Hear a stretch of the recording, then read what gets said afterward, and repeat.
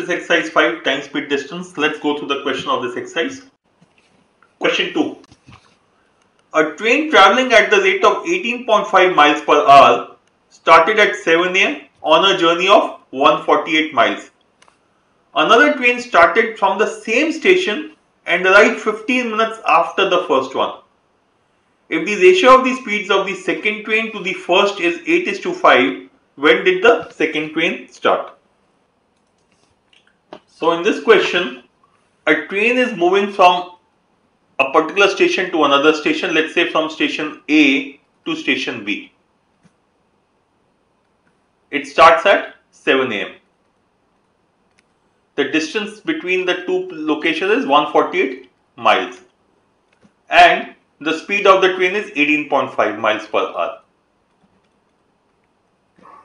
Another train started from the same station and arrived 15 minutes after the first one. So let us first find out what time did this train, did the first train which started at 7 am reach the destination. Distance is 148 miles divided by 18.5. This will be equal to this will be equal to 8.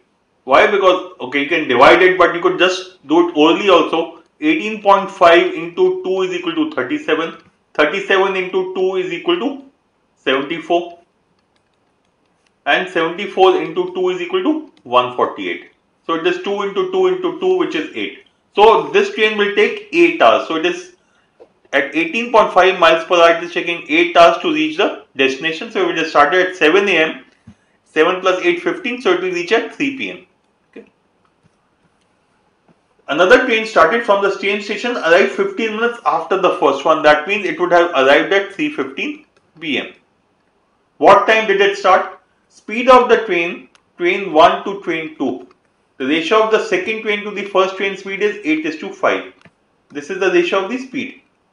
Which means the ratio of the time should be 8 is to 5 for train 1 to train 2 which means if the second if the first train has taken 8 hours the second train should be taking 5 hours. Since it has started at uh, since it has reached the second train is reaching the destination destination at 3:15 pm that means it would have started 5 year 5 hours earlier which is 10:15 am among the choices choice b is the correct answer